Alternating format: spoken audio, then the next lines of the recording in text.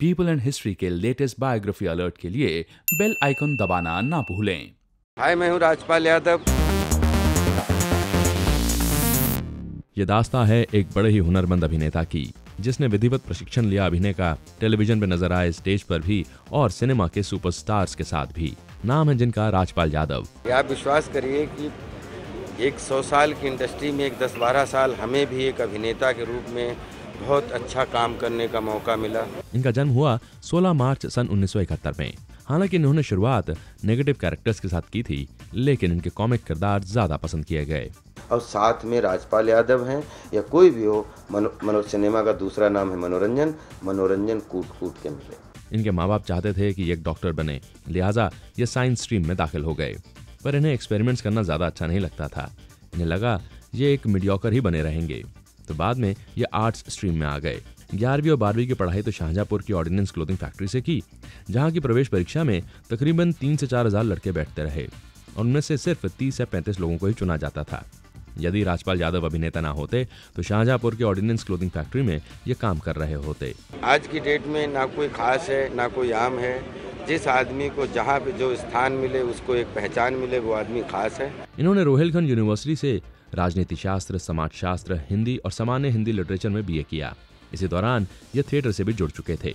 इसमें बड़े सब थिएटर के कलाकार लगभग सारे बहुत अच्छे से आ, काम कर रहे हैं। अभी ये लखनऊ के भारतेंदु नाट्य अकेडमी में नहीं पहुँचे थे।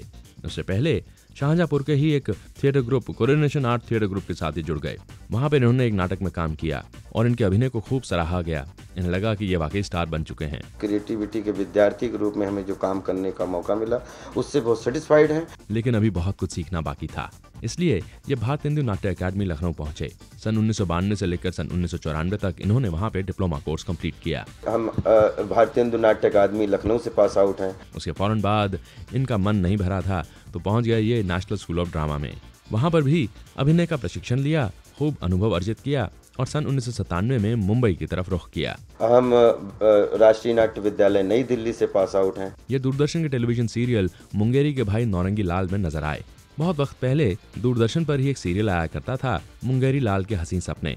उसी का सीक्वल बना मुंगेरी के भाई नौरंगी लाल। राजपाल यादव हैं तो कोई भी चाहे एक मेंटालिटी कैरेक्टर मिल जाए तो उनको भी अलग अलग तरीके से पेश करने की कोशिश रहती है। फ़िल्म जंगल में इन्होंने एक नेगेटिव किरदार निभाया।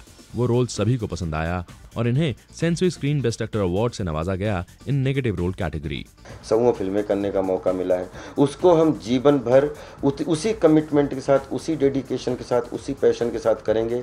उसके बाद ये नज़र आए मैं माधुरी दीक्षित बनना चाहती हूँ। वक्त द रेस अगेंस्ट टाइम चुप चुप के गरम मसाला फिर हेरा फेरी ढोल वगैरह वगैरह। हम हमेशा एंटरटेनमेंट के लिए काम करते हैं तो कभी सीरियस एंटरटेनमेंट करने का मौका मिलता है। और कभी कॉमिक एंटरटेनमेंट एंटरटेनमेंट करने का मौका मिलता है।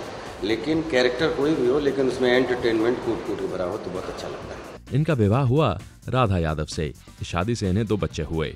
तो उसके आगमन से पूरे घर में बहुत रौनक है और पूरा परिवार बहुत खुश है और बहुत ऊपर वाले शुक्रगुजार हूँ। इन्होंने सुपर स्टार्डम देखा थिएटर का दौर देखा और टेलीविज़न पे किस तरह का अभिनय करना चाहिए यह अनुभव भी इन्हें मिला। लेकिन साथ ही साथ सन 2013 में वो वक्त भी आया। जब इन्हें कोर्ट कचहरी के चक्कर लगाने पड़े। अच्छे बुरे एक्सपीरियंस होते रहते हैं लेकिन आप फ्रीज बने रहिए तो छक्के चौके लगते रहें कहीं कोई चिंता वाली बात नहीं है। ये बात अजब है कि अंधेर नगरी चौपट राजा इस नाटक से इन्हें बड़ी मकबूलियत हासिल हुई। मुझे बड़ा अच्छा लगा और मैंने कहानी की मुझे उनके साथ काम करके खूब मज़ा आया। वहाँ से प्रेरणा लेकर ये भारतेंदु नाट्य अकेडमी पहुँचे फिर एनएसडी पहुँचे और फिर फ़िल्मों में इन्होंने बड़े बड़े सुपरस्टार्स के साथ काम किया चाहे वो अमिताभ बच्चन रहे या अक्षय कुमार। तो सब लोग जो हैं काफ़ी मज़े हुए कलाकार हैं इसमें सबके साथ अच्छा लग रहा है। ये लीक से हट के फ़िल्मों में भी नज़र आए जैसे कि मैं मेरी पत्नी और वो और दूसरी तरफ़ वक्त द रेस अगेंस्ट टाइम छुप छुप के गरम मसाला इस तरह की कमर्शियल फ़िल्मों में भी। ना ही हम अपने आप को स्टार आ, मानते हैं ना ही हम एक्टर मानते हैं ना ही हम निर्देशक मानते हैं ना ही प्रोड्यूसर मानते हैं। हम एक क्रिएटिविटी के विद्यार्थी हैं। यकीनन बड़े उतार चढ़ाव भरा इनका जीवन रहा है। भारतीय कला के इतिहास में राजपाल यादव जैसा अभिनेता ना ही कोई था और ना ही कोई और होगा। तो we are very lucky we are very grateful कि ईश्वर ने हमें इस लायक बनाया कि हम आप लोगों के सामने इस इंडस्ट्री का हिस्सा हैं। महान प्रतिभाओं के जीवन के बारे में जानने के लिए सब्सक्राइब करें पीपल एंड हिस्ट्री।